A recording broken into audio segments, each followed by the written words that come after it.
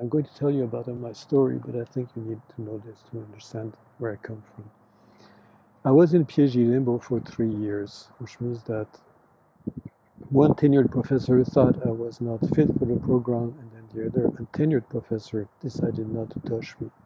I was toxic to their career. But out of the bunch, there was some very kind souls, but she advised me well, and I emerged after those three years as a full-time student and got my PhD eventually. I call it a PhD in grit from the computer science department. But among the people who helped me was a docker at the port of Montreal. And his name was Christian de Courcy. And he told me this we uneducated people have or uneducated lives so that you educated people can have your nice educated life. What we ask in exchange is that you live your lives according to moral standards that we can then try to emulate in our own lives. And he urged me to finish my PhD on the ground that there has to be honest people at all levels. My first research job after graduating was in Scotland, two years and a half, and then nine years in a small national lab in uh, Washington State, USA, and then six years in a software company in Silicon Valley.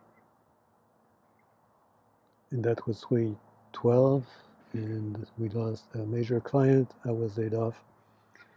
And that led me to actually go outside.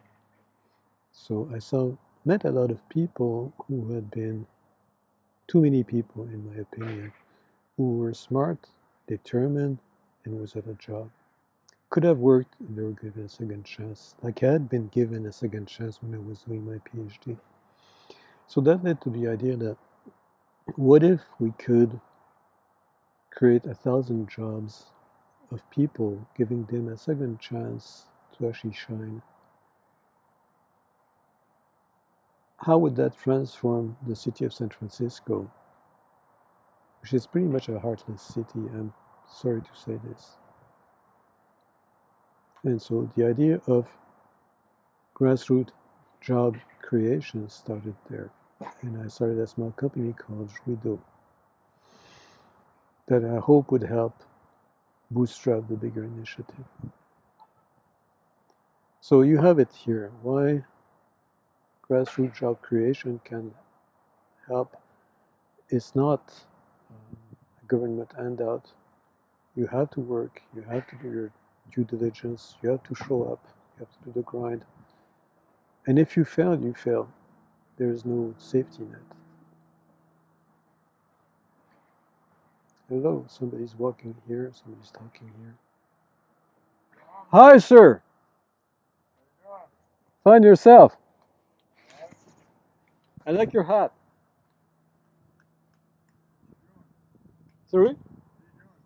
I'm talking to myself. I don't mind. I absolutely don't mind. I absolutely don't mind. Actually, I was finished.